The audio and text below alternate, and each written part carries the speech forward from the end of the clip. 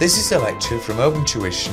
For the free lecture notes that go with this podcast, please visit opentuition.com. Now we're going to look at some typical internal control systems. Remember, these are only typical. Uh, companies can come to very many different arrangements uh, for the implementation of adequate internal control. I will start with the purchases system. And you can, excuse me, break down a purchase transaction into first of all placing the order, and then you receive the goods, uh, and then you receive the invoice, and then you'll pay. And that, that's a whole of a, you might think at any rate, is a whole of a purchases system. What we want in all of these systems is, is, is a completely kind of watertight uh, uh, chain, if you like, sometimes called an audit trail, between the start and the end. Okay, so if I was the auditor and I went and I saw uh, a copy order, I ought to know that essentially one, one of the endpoints of, of that transaction, and it could take weeks to complete, is that there will be a payment going to the supplier.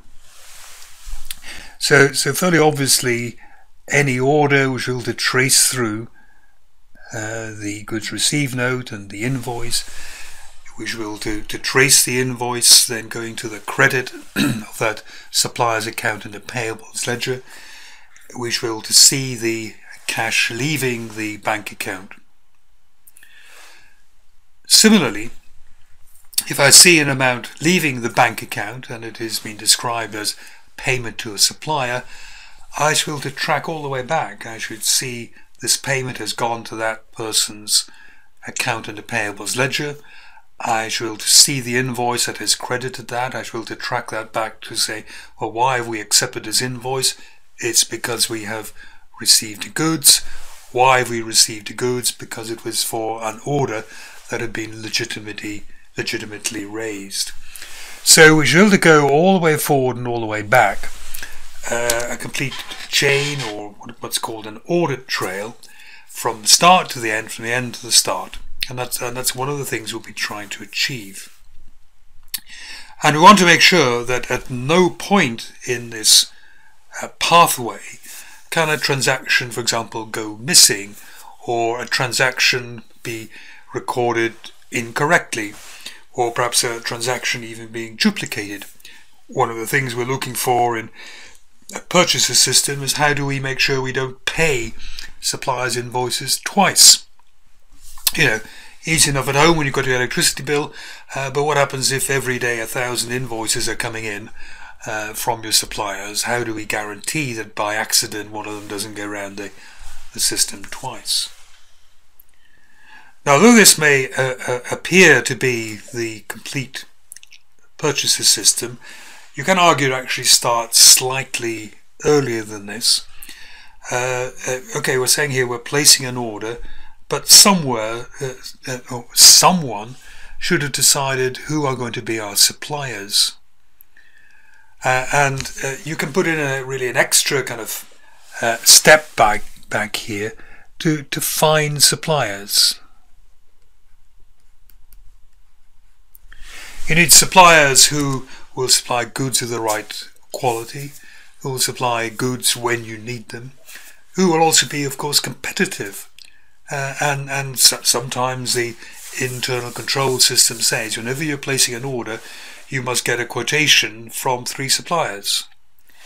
In some other situations, the internal control system is effectively saying we have chosen this supplier because we've negotiated a really good discount from this supplier and all the supplies of a certain type of raw material is going to go from this person.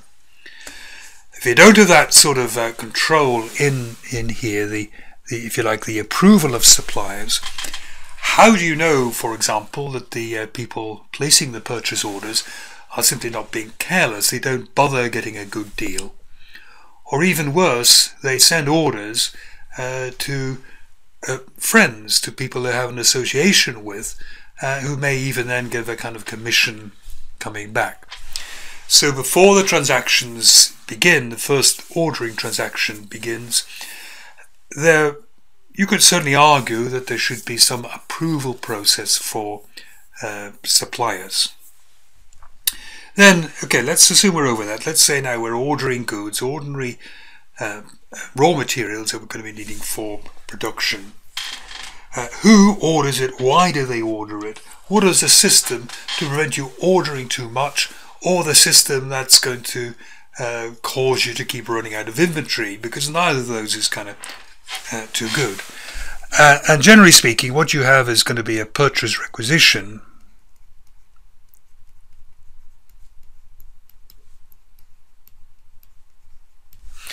This is probably going to be raised, uh, issued by someone in the warehouse. We hope that somebody in the warehouse is keeping an eye on inventory and it goes down and hits a, a kind of reorder level here. That's the trigger that, that we ought to think about raising an order.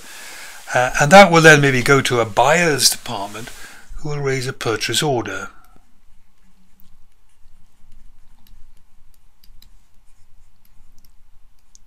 So even at this uh, early stage, we have a, a, kind of segregation of duties.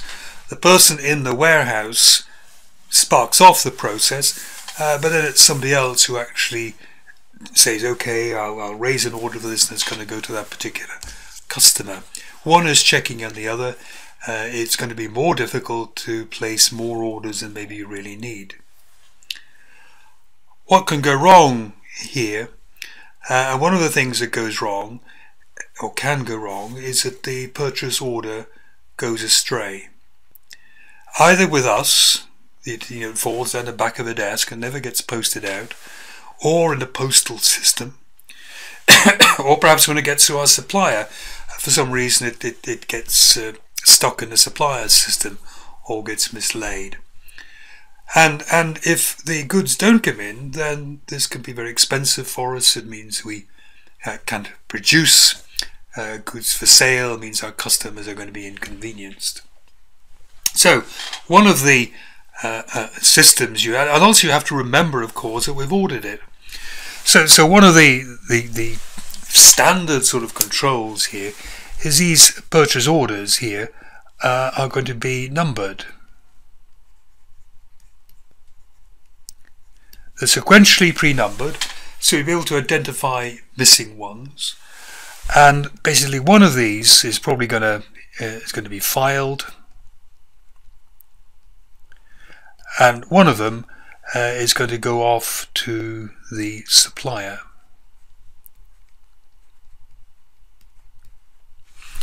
So one of them is filed. It's kept maybe in the purchasing department. It, will be kept there in numerical order. We can check the numerical order is complete. And what we can do is, uh, what we should be doing, is when the order is fulfilled, when the goods come in, we in some way mark this order. You know, we've ordered the goods, we've got the goods, that's pretty good. But we should maybe be going through this file of orders every week uh, to look for what are, what are called long outstanding orders, orders that seem to have been lost, delayed or something, and which we will have to follow up either internally or with our suppliers. If you order goods and don't get the goods, then that's a problem. But by and large, we're waiting now. This, this order has gone to the uh, supplier. It's been a, an approved supplier and uh, the like. Uh, probably the order's got some sort of authorization on it from the, the buying department. And basically now we wait. And we're waiting for the goods to be received. So the next stage is in the warehouse really. Uh, we receive the goods.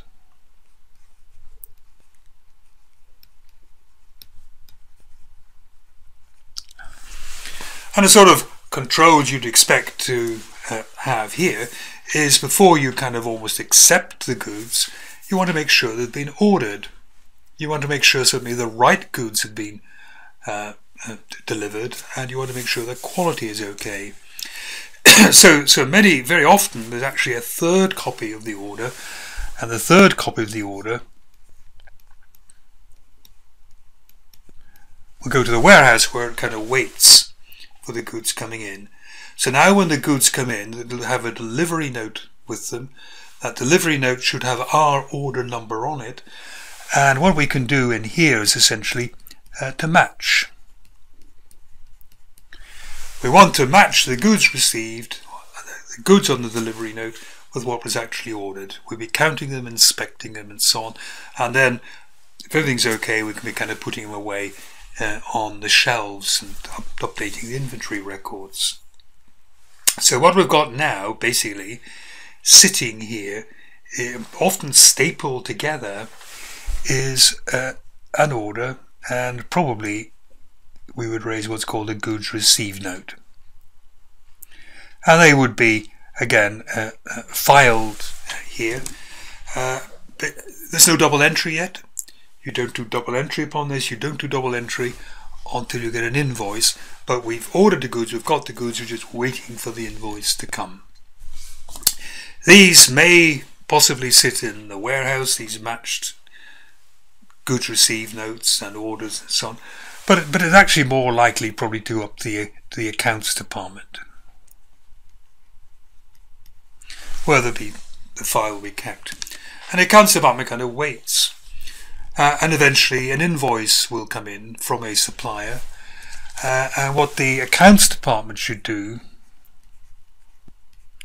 before processes that invoice is to ensure uh, that it matches uh, to an approved order and the goods received notes. So now we could, if we liked, pin together three documents. We've done the order, we've got the goods, and now we have the invoice. And what we'll be doing now with this invoice uh, is essentially we're going to be crediting the supplier.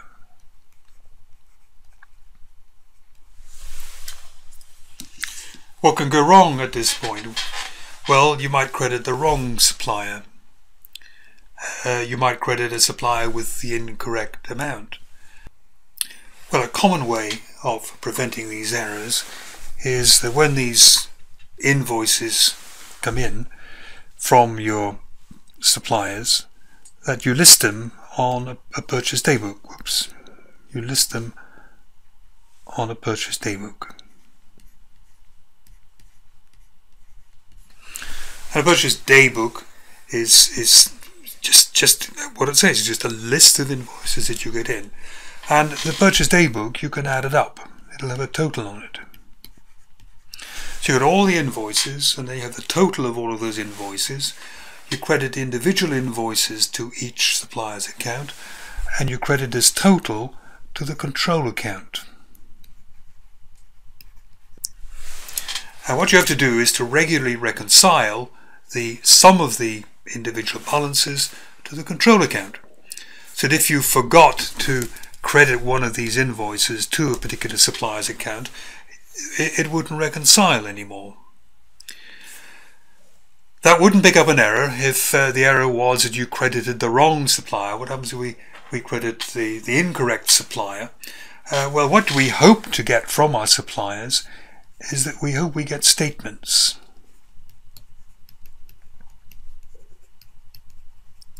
Suppliers will send us statements in a way reminding us what we owe them, uh, kind of giving us a little hint, maybe we'd like to pay now. And what we should do is to reconcile the statements from suppliers uh, to these, to the, um, the, uh, the, the, the supplier accounts and investigate anything which appears to be incorrect because it may imply that there, there has been a, a, a misposting. So we have, uh, we hope everything properly and correctly recorded in the supplier's account. A small danger, we, we might actually credit something twice to a supplier. The invoice might go around the system twice. And, and you know, one of the things we'd be liking to see at some point, either on posting to the supplier or on payment of the invoice, is to cancel the invoice.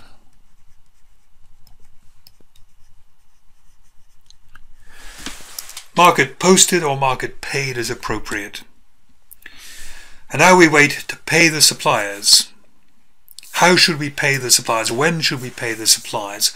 And again, there's an element of accounting policy in, in this. Some companies will say you always pay after 30 days. Some companies might say we never pay until 90 days is up. But there ought to be a kind of consistent policy uh, of paying suppliers so that you, you know, get discounts when you can and, and the like. What many companies do is they print out a list of all the payments, all, all the invoices outstanding, and maybe they age them. Invoices that we've owed for 30 days, invoices 30 to 60 days, and so on.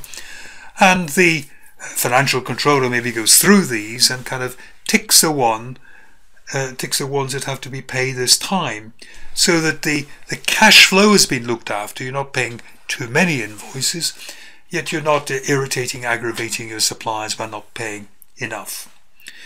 Many companies still will have, before you, you make the payment authorization, they will want to see the invoice, the goods received, and the dispatch note kind of pinned together as absolute proof that this payment has been made for a, a legitimate expense for which we have received value. And then again, as I say, you might at this point mark the invoice paid uh, so that the uh, invoice can't possibly go, go round the system again. In a sales system, you can think of the transaction as happening uh, when you receive an order from a customer. Then you'll dispatch the goods and raise an invoice. Uh, then you're going to be crediting that as a, a kind of debit balance on their individual receivables account. You've got to follow it up to make sure they pay reasonably soon, and eventually we hope we're going to get the cash. So, again, we should have this audit trail complete in here. Any order which we find as auditors, uh, we should say there's an order, uh, assuming it's been approved, it should eventually end up with cash being received. And we should be able to track that all the way through as we go through here uh, to uh, cash being received.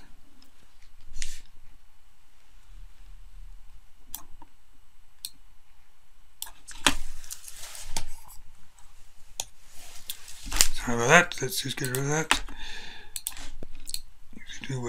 Okay. Similarly, if you see cash coming in, cash coming into a business, uh, certainly cash appearing in the sales account, uh, or, or, or, cash appearing uh, and on the debit of the uh, cash book and described as being received from a customer, you should say, well, they're saying that's coming from a customer paying us, uh, and you should to track all, all the way back to saying, well, they're paying that money now because uh, they got those goods, and that's because they ordered those goods. We're able to account, if you like, uh, for all of these receipts and, and the why they were received. Once again, we could argue that the four stages here, the transaction, actually is at a very important earlier stage here, and that is, uh, do we want these these people as customers? Uh, there is no point in accepting orders, dispatching goods, and sending invoices to people who may never pay. So what we should really have before we even say yes to our first order here is some sort of uh, credit reference. How do we know this new customer is creditworthy? What sort of credit limit should we set on their account? And generally speaking, credit limits are set initially pretty low. Uh, and then as you gain experience and begin to trust that customer, then they can be, be put up. So the first internal control or step is to obtain uh, information about their credit worthiness, their credit reference agencies. Uh, you can ask for a set of their latest financial statements to get an idea of the, the size of the company and the liquidity and so on. Uh, but you're taking quite a big risk if you don't do that. Then, then we get an order from the customer.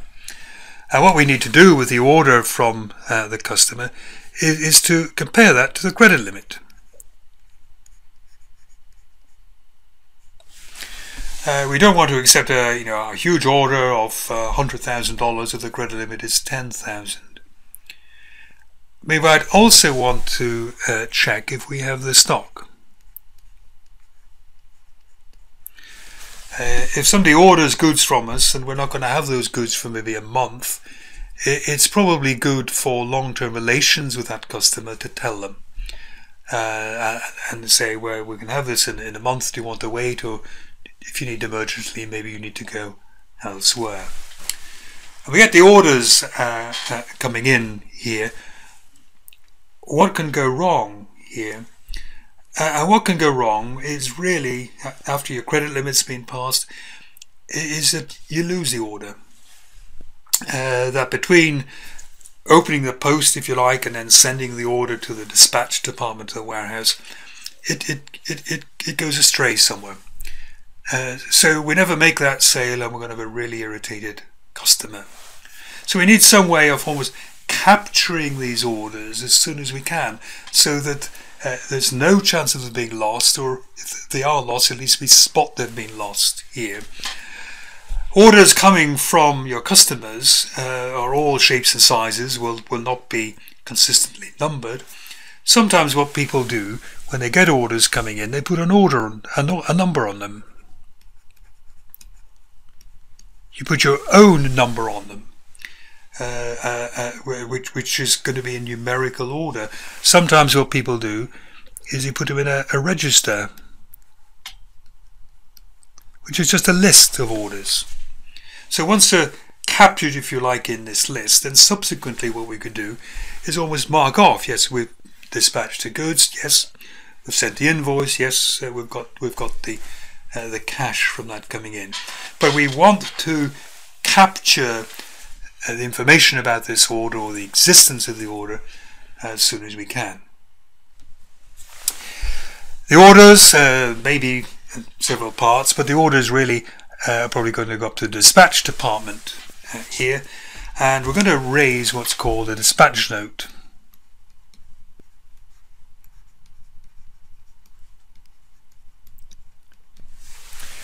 So uh, the order is, if you like, the almost authorization that at some stage you're going to dispatch the goods.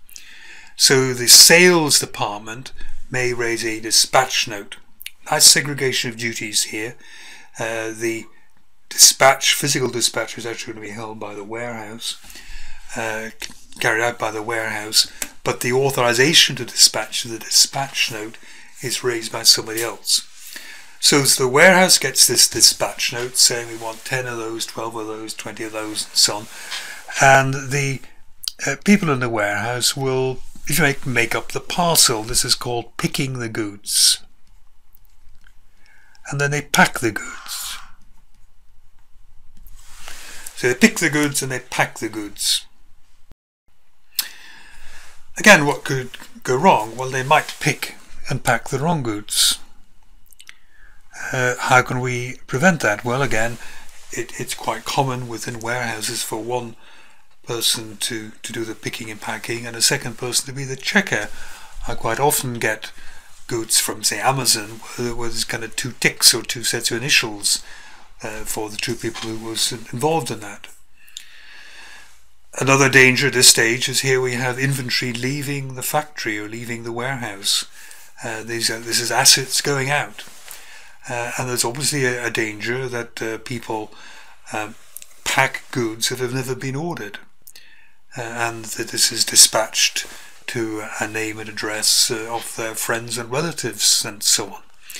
So, so what is quite common is uh, on uh, dispatch size of factories and warehouses, there is gate security. And as lorries and parcels are leaving, there is a set of security people who ensure that on each parcel has been stuck a copy of the dispatch note. And the only way people could, of course, get dispatch notes is if it came uh, was properly raised, if you like, in the order department, and there's going to be an order backing that up. What we want to see uh, is ideally on copy dispatch notes the original order from the, the customer kind of pinned to that. So we know we have the order, we know the there is a dispatch note there. The dispatch notes should be raised in numerical order so you can put in some extra dispatch notes that don't have an order uh, for them and, and the like. So we've got the order, we have the order from people who are credit worthy. Uh, we've taken some care to make sure the right goods have been picked and packed uh, and only the right goods kind of escape from the, uh, the custody of the company. Uh, we have cut down the possibility of people picking and packing goods and sending them to themselves because there has to be some sort of authorized dispatch note attached to those. The biggest danger now is that having dealt with the orders and the dispatch properly, we for some reason forget to invoice or do not invoice. And this is almost the worst sin you can commit on the sales system. Uh, you dispatch goods which are never going to be invoiced. How do we ensure that for every dispatch there is an invoice? Because without the invoice, we're never going to get paid. Uh, and quite often, the way it works uh, is that when the dispatch note is raised, an invoice is raised at the same time. Uh, so, so you have a kind of multiple document here uh, there may be several kind of dispatch notes and delivery notes because usually a copy of the dispatch note will go with the goods to the customer who will then sign that and this is evidence now that the customer has got the goods and, and so on. The customer can't come and complain that the goods are missing and you've invoiced me. So here we have maybe invoice, dispatch note, dispatch note, a delivery note going to the customer here. On the invoice, you will have the uh, the full value of the goods. You've got the, the, addresses and the descriptions of the goods there and so on. There, you generally don't want uh, people delivering the goods to see the value. So all you do uh, is you simply don't make, don't allow the the value to come through. So so what you tend to have here is sometimes they have kind of kind of it's it's made kind of black so printing doesn't come come come through when it's printed. So so now and all of the same number. So it'll be invoice, you know, one thousand. It'll be dispatch note one thousand. It'll be delivery note one thousand. And as this is being, being, being all raised together, uh, there is no chance of an invoice at least being raised. And there may be, uh, you know, another invoice. There may be two kind of invoices. A copy invoice. One goes off to the customer, and then one goes to the accounting department, well, what we're going to do is we're going to debit the customer's account. And it's perfectly possible to all sorts of kind of controls in here. We would have a sales day book here. Uh, a sales day book uh, where you would list all the invoices for sales. Uh, the total of the sales day book should equal the total of the invoices which you debit to people's accounts. What should we be doing here is we should be reconciling the control account. Uh, what we'll be doing uh, here uh, is uh, uh, also we'll be sending out statements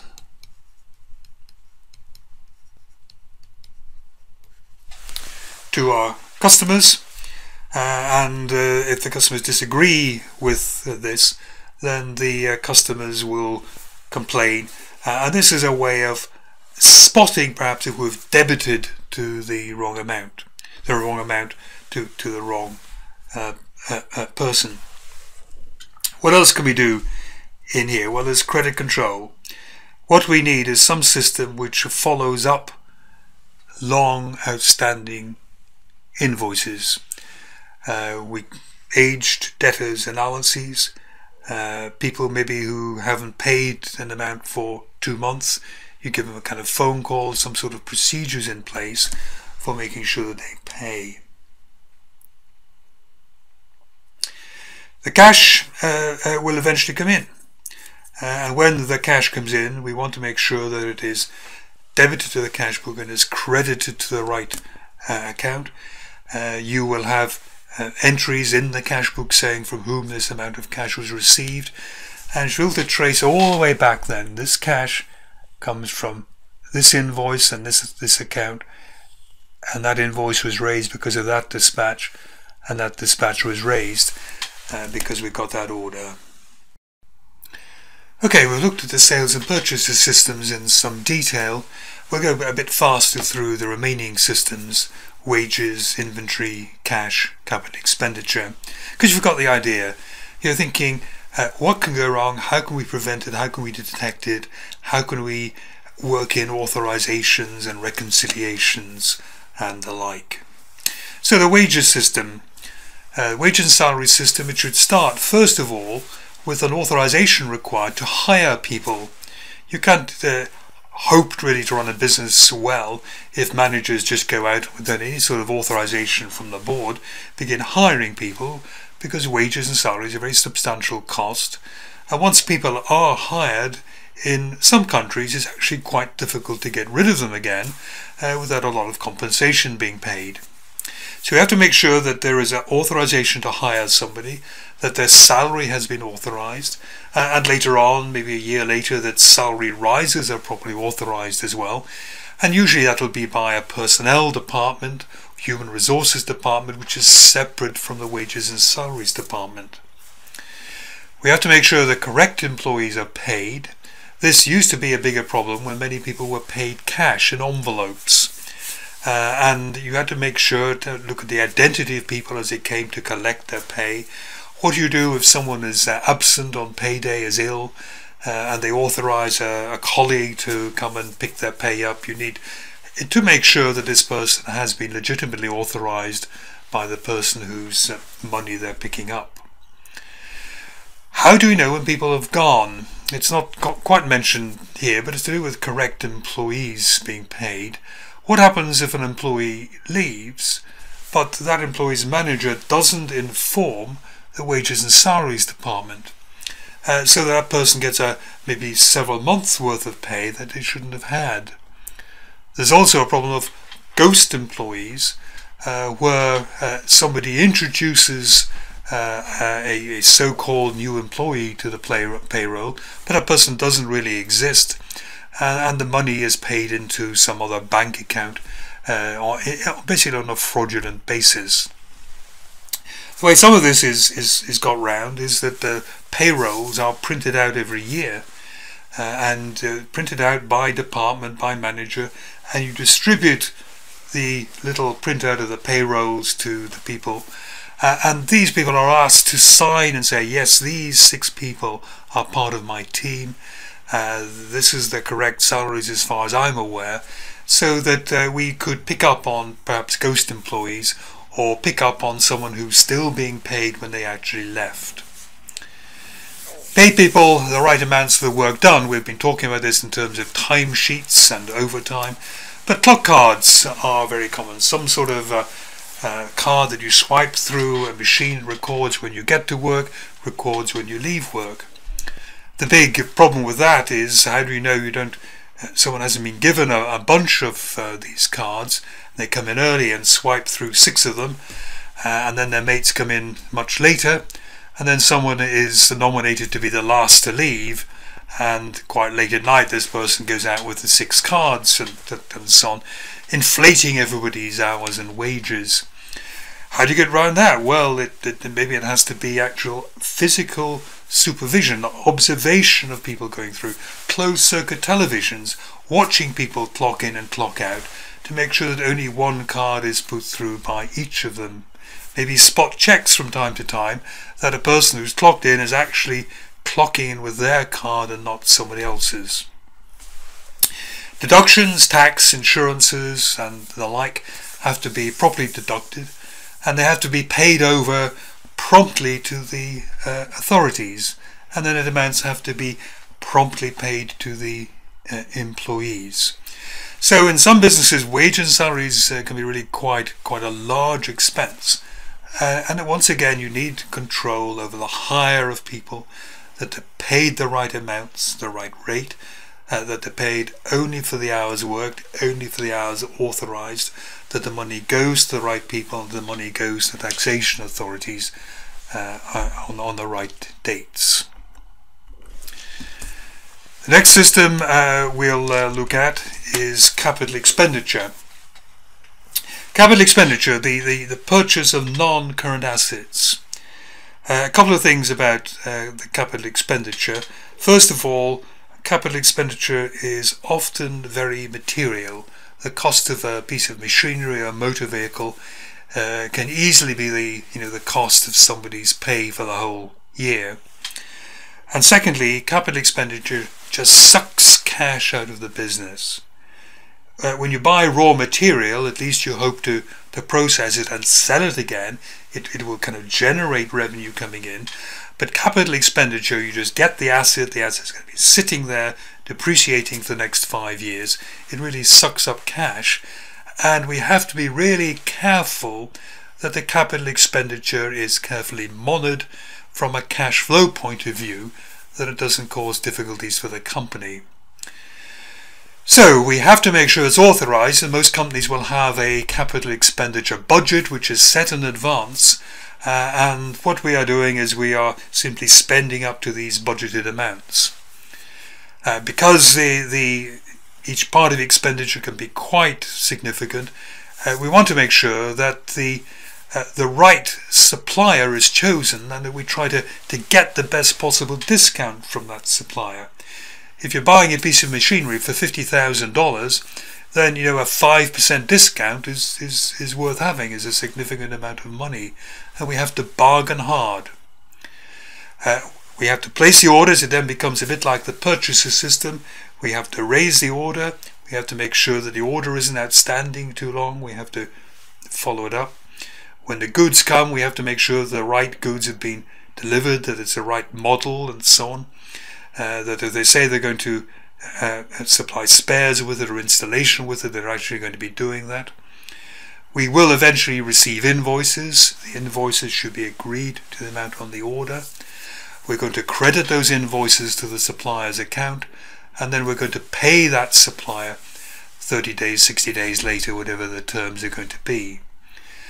And what we ought to do regularly then, since non-current assets are essentially a fairly permanent fixture in the business, we ought to undergo, uh, make sure that these assets undergo regular physical inspection.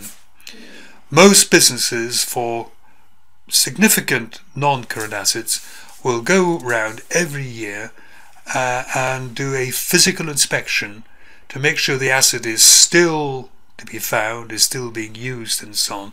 Because losing one laptop computer uh, is really quite a lot of money and it's part of the safeguarding uh, of this or you know if the thing has gone missing to make sure we can bring the non-current assets uh, up to date. Cash system, all I'll say in the cash system, we've dealt with quite a bit of it already in the purchases and the sales system. Purchases usually ends up with cash going out. Sales, we hope, ends up with cash coming in. Capital expenditure, wages, cash going out. We, we, we've, we've dealt a lot of the, the cash system here. All I will say here, really, uh, is that we have to make sure that monies are banked quickly to safeguard against theft or loss. And also, the more money you have in a bank, perhaps the less overdraft interest you're going to be paying uh, you get a better picture of what your cash flow position is rather than money kind of sitting around in, in random places all over the place. And finally, the inventory system. Again, we have uh, dealt with quite a bit of this already. Uh, purchases is the receipt of inventory. Sales will normally end up as the dispatch of inventory there. We have to make sure that all inventory movements are authorized. New purchases should be authorized, new dispatches should be authorized. Inventory when received or dispatched should be properly recorded. Many businesses keep very detailed records of inventory so that they can see when you know the when the, the, the, the amount of inventory goes down and you need to order it or if a customer rings up and says do you have this in stock you can look at the inventory records and they are reasonably accurate and as well as being you know, properly recorded, we should maybe do uh, inventory counts. Some businesses only do them once a year. Other businesses institute what are called cycle counts that you go round the inventory several times a year. Again, this is to make sure the book stock and the physical stock stay uh, equal. And you can you can even do a kind of stratification there.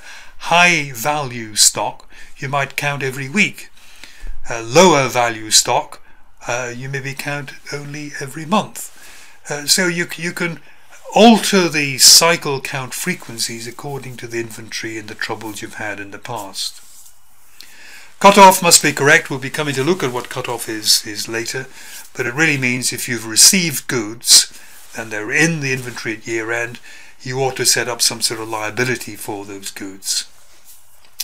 We've talked before of the importance of physical uh, uh, uh, guarding against theft and loss, physical guarding against deterioration. You must make sure that goods that maybe go rusty or going to go off in some way are kept in dry conditions or properly refrigerated and so on. You must make sure that goods are safeguarded against theft or, or, or, or, or safeguarded just against waste uh, if people come and ask for more goods than really they should be. We need proper valuation procedures. Uh, we have to make sure that the goods are valued to the lower of their cost and net realizable value uh, for year end inventory. And we must make sure that the inventory levels are reasonable. If inventory is too high, there's a risk we'll never sell it. Even if we are going to sell it, it means there's an awful lot of cash uh, which is tied up in that inventory. Probably paying interest on that cash. If inventory is very high, there's a bigger chance it's going to be damaged or deteriorated. It, it takes just more rental space in which to hold it. You don't want inventory to be too low. Uh, if you run out of inventory, it's very expensive, uh, both in terms of the workforce standing around and being idle, uh, but also you're going to develop a reputation which is very poor. If customers come to you and are repeatedly told, we can't supply that because it's not in stock, then you will soon start losing sales.